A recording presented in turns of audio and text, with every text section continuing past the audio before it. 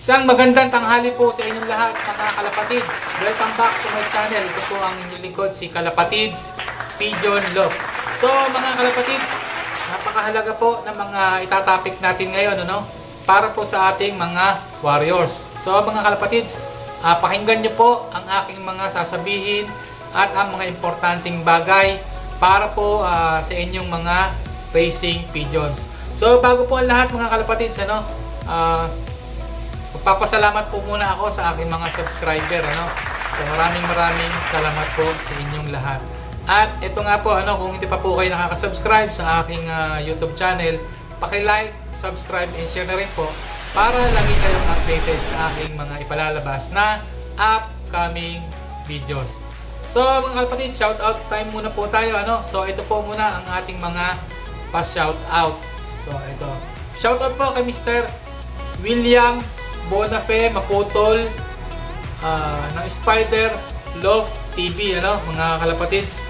So ayan pa po ang inyo iba makikita niyo po sa inyong ah, screen. So ayan Ah, pa-subscribe na po sa kanila mga kalapatids ano kung meron po silang mga YouTube channel. So ito nga po mga kalapatids, ah, napaka-importante po ng aking mga sasabihin ngayon at sana po ay makinig po kayo sa aking mga tips na sasabihin sa inyo, mga advice mga kalapatids.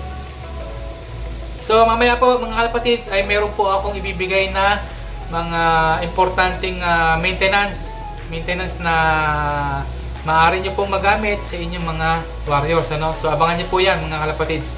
So ito po muna ang una nating topic ano mga kalapatids. so ito po ang una nating topics. Ah, para po sa mga madalas magtanong ano, sa malalo na sa mga newbie at sa mga beginners.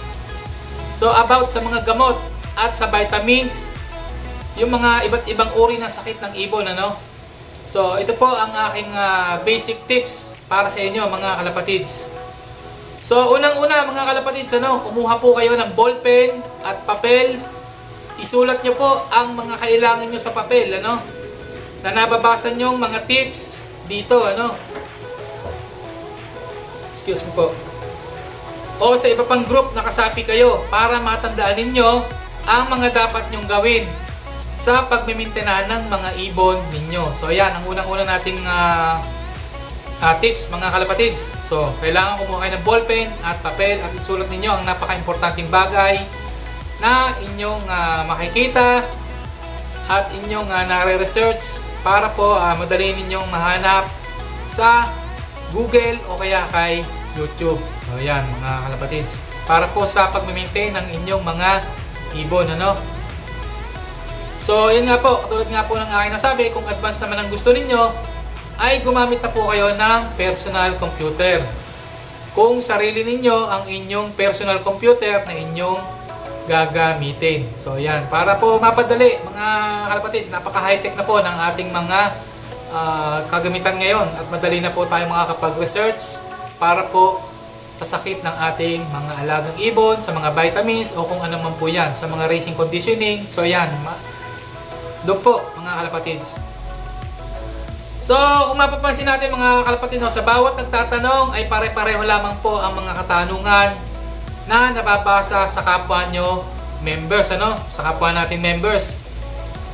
So, pinipiling unahin muna natin magtanong kaysa sa magbasa. So, kailangan mga kalapatids, ah, kailangan muna nating magtanong sa mga kakilala natin mga pansir na ah, may experience na po sa pag-aalaga ng racing pigeons ano? Sa mga nagcha-champion na po sa mga naglalap winner sa mga basta sa mga sumasali po ng mga karera ano mga kalapatids magtanong po tayo sa kanila. So ayan. So mas mainam na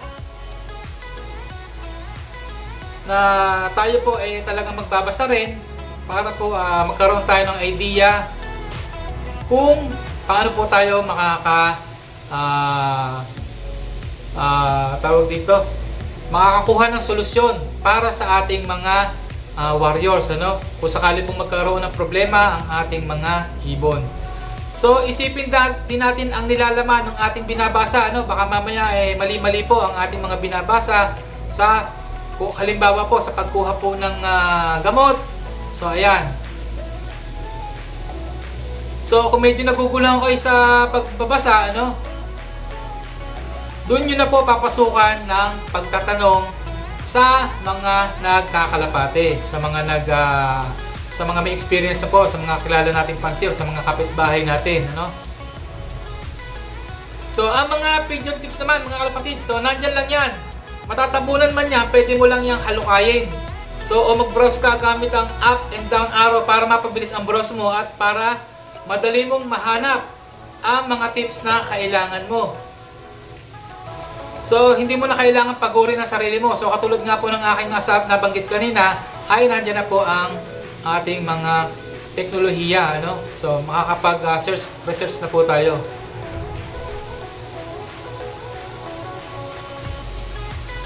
So, kapag lumipas sa panahon, mga kalapatids, eh, makakakuha ka na ng magandang idea sa mga tips na nabasa mo. At yun naman po ang ating mga isusulat sa mga notebook, sa mga logbook po natin. So, ayan, mga kalapatids. So, dapat sa pagre-research po natin, eh, talagang mabusisi po tayo, ano? Dahil ah, sa pagbibigay po ng gamot, talagang napakaselang po. Kasi po yan eh, mga gamot po yan. So hindi lang po basta-basta ang pagbibigay ng gamot sa ating mga warriors.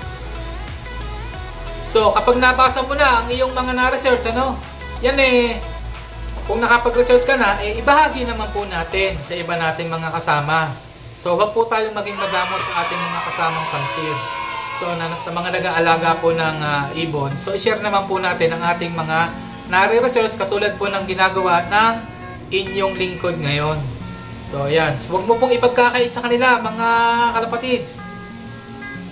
Dahil ah, pagka inilihim mo yan, eh, mabubulok yan. So, ayan, mga kalapatids. Huwag na huwag mong ah, ibubulok. Huwag mong Huwag mong bubulokin sa baul ang iyong na-research. Kailangan po, mga kalapatids, eh, sharing each other po tayo.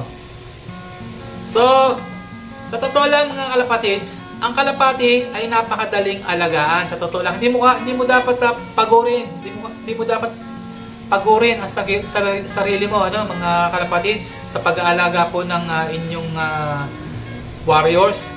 Dahil ah, Huwag mong gagawing komplikado da ang pag-aalaga para hindi ka mai-stress o matetensyonado o kaya magpapanik. So, ayan. Dapat po, kalmado ka lang. So, ayan. Lalo na po pagka ang ah, ating ah, mga warriors ay nagkakasakit. So, sinasabi na sinasabi po ng inyong lingkod na dapat ang inyong lock ay maayos, nasa tamang area, wala po sa tabi ng creek, wala po sa tabi ng ilog, o kung ano man po na mabahong lugar. So ayan, dapat po nasa maayos siyang lugar. So sa mga newbie at sa mga beginner, dapat po alamin muna ninyo ang inyong mga loft area bago kayo mag-alaga at magsimula sa pagpaplano ng ah, mga racing pigeons ninyo. Hindi lang po ba tayo basta mag-aalaga mga kalapatids. Kailangan po ang proper area ng ating kulungan. So dapat po sapat lang ang temperatura sa lugar, hindi mainit at hindi rin malamig. At dapat sapat lang din ang hangin na pumapasok sa loob upang may sapat ang mga ibon na makalanghap ng hangin. So yan mga kalapatids, yun po yung tinatawag nating mga ventilation. Dapat po ang ating loob ay mayroong ventilation. Hindi po nasasakal ang ating ibon. Kapag noon po nandun na sila sa ating loob, eh mahirap po pagka po sila ay kinakapo sa hangin. So ah, ang nangyayari po mga kalapatid, ah, para po silang uh, nasosuffocate. Ayun. Kapag po ang kanilang lugar ay ah, hindi maganda at hindi kaaya-aya para sa kanila. Hindi po magiging komportable sa kanila ang ah, kanilang paglipad, kanilang pagkilos. So kaya kailangan yan mga kalapatid, tandaan nyo, ang mga loob ay dapat na maayos. So, dapat ang lobe covered, kung may butas man, dapat ayon sa ventilasyon. So, katulad nga po ng aking nasabi kanina, kailangan po may proper ventilation ng labasan at pasukan ng hangin. Hindi dapat nasasalpok ng malakas na hangin ang loob ng lobe nyo, mga kalapatids, lalo na kapag panahon ng tagbagyuhan, ano? So, ayan, mga. So, ayan, upang mapa- pa- mapanatiling maayos ang kondisyon ng mga ibon, hindi sila agad nadadapuan ng sakit at hindi basta-basta nakakahawa-hawa. So ayan, maganda talaga ang may proper ventilation. So dito sa part na ito mga kalapatids, ano, malaking parte sa pag-iibon ang tinatawag nating observation. So kailangan mga kalapatids, lagi po tayong mag-observe sa ating mga ibon. Dahil kung hindi po natin obserbahan ang ating mga ibon, ay wala pong mangyayari sa ating mga warriors, lalo lamang po silang magkakasakit at magka, ma, ma, magiging sanhi pa ito ng pagkakahawa-hawa sa ibang mga normal at walang sakit na ibon. So kailangan po lagi, everyday, lagi po tayong mag-obserba sa ating mga ibon. So ang kanilang kalusugan, madaming pag-aaral ang nabubuo sa paggamit ng obserbasyon sa pag-iibon, ano mga kalapatids. Kaya hindi malayong madaling lumawa ang isipan ang gumagamit nito. So mga kalapatids, huwag po tayong maging mainipin sa pag-aalaga ng kalapati ano, upang hindi ka matalo sa paglipas ng panahon sa pag-aantay. So kailangan magkaroon ka ng sapat na oras para sa iyong pamilya, para sa iyong pag-aaral. So ayan mga kalapatids, dapat neutral ka lang. Neutral. Balanse ka lang dapat mga kalapatids para hindi ka agad tatanda sa pag-aalaga. So, di tulad po ng inyong lingkod, mga kalapatids, ayan, namumuti na po ang buhok. So, ayan, hindi pa po nakakapagpagupit ang inyong lingkod, mga kalapatids, dahil bawal po ang uh, barbershop dito. So, ayan, kaya po hindi pa nakakapagpagupit si kalapatids Pigeon Love. So, ayan, back to my topics again, mga kalapatids.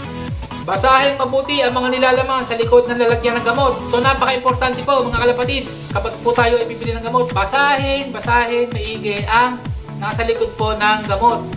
Sa mga newbie at sa mga beginner, kailangan kailangan po niya natin na magbasa, magbasa.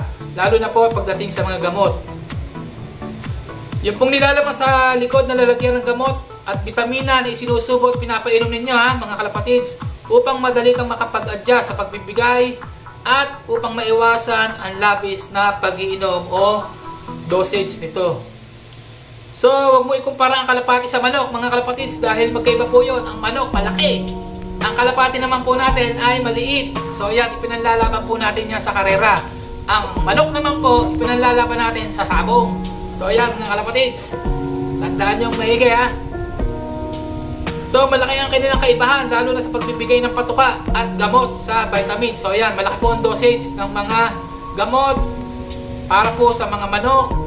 So ayan, wag na wag po tayong magbibigay ng mga gamot para sa mga kalapate na na para po doon sa mga manok ano dahil hindi po balance. So meron na po ngayon mga kalapatids na, ilat, na inilalabas ang ating uh, mga butihing uh, fansir, ang alagang magaling, excellence rockdab, uh, enter, uh, Fan Freeloads Enterprises kasama na po diyan ang bio research ano. Uh, nagbibigay po sila ng mga kaukulang uh, mga medisina para po sa ating mga warriors. So yan. The story you're about to hear Huwag the Huwag have sa pagpaparonda ng ating mga ibon, no? Sa pagpapalipad. Dahil ang labis na pagbubugaw sa mga kalapate ay nakakalikha ng iyong kapaguran.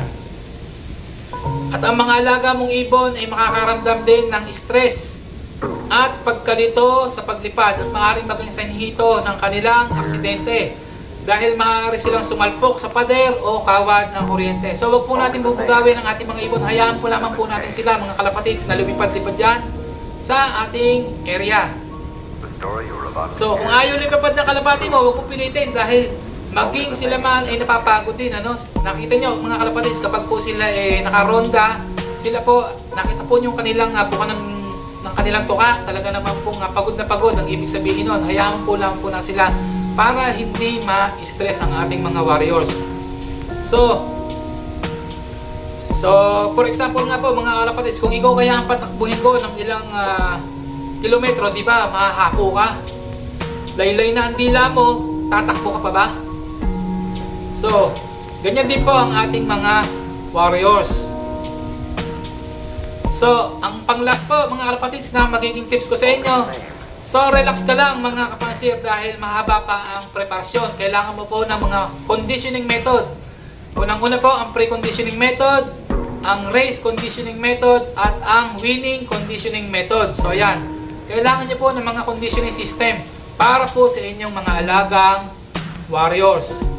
So kapag kapag po sumablay ka, mga kalapatids, lalo na po sa sa pagbibigay po ng mga supplements ano so diyan po papasok ang mga sakit ng ating ibon so kailangan always uh, alert po tayo always prepared po tayo sa ating mga alagang ibon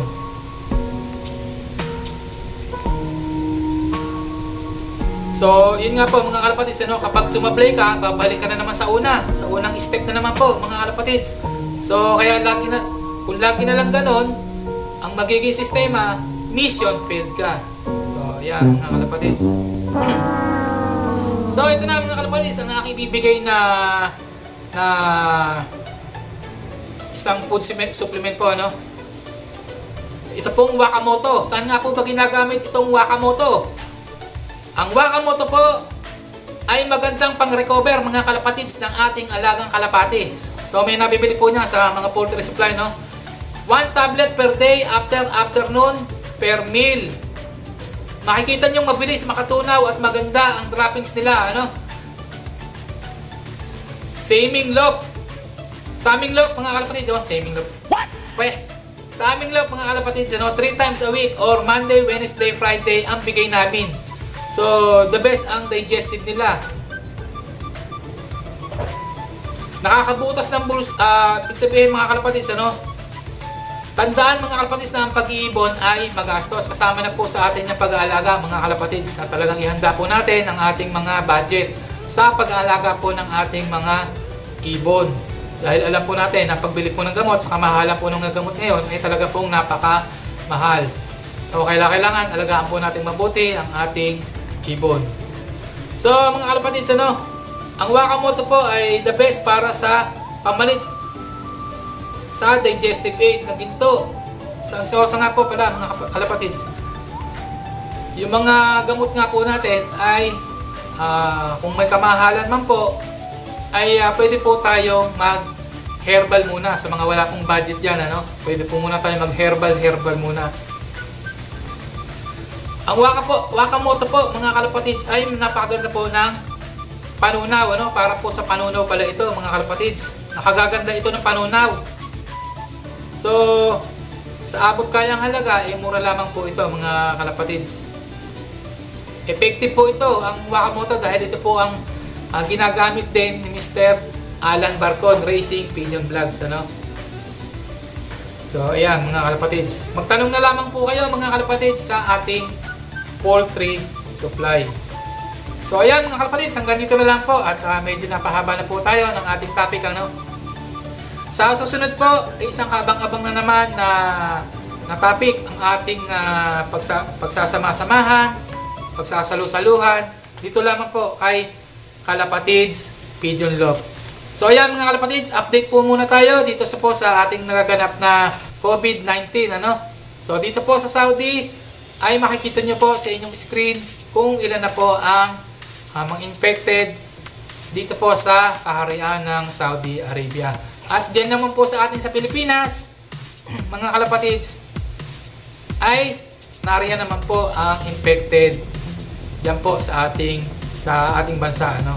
So anyway mga kalapatids, mag-iingat po tayong lahat at God bless po at sana po eh sa susunod ay magkita-kita po ulit tayo. So happy flying po mga kalapatids, hanggang dito na lang po. Ito po muli ang lingkod si Kalapatids Pigeon Love. Magandang araw po sa inyong lahat. A few minutes later.